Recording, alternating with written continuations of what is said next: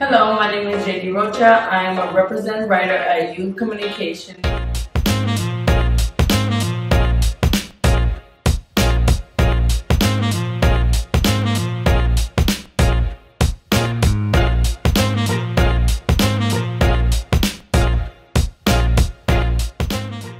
I think it's important to tell my story because I know that I feel like when I was going through those through those um, phases with my mom and being a young teen and not necessarily knowing how to feel about the situation, I think I would have wanted to hear someone talk about um, what could, how to maneuver through it, how to, um,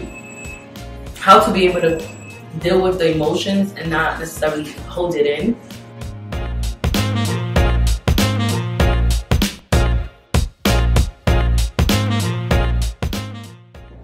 I think it has been like a healing, a, healing journey for me, or a, the beginning of my healing journey. Just being able to actually write down the feelings and, and what I went through from now and how I'm feeling and how my feelings have changed from then to now.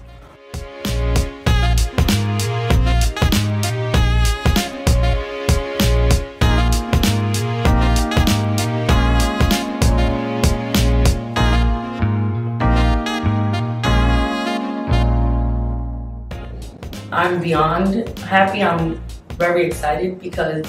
um, not only am I being able to develop my writing skills, but is I'm learning how to, how to deal with the emotions and learning how to use my writing to not only just help myself and my my past traumas, but to open someone else's eyes and impact someone else's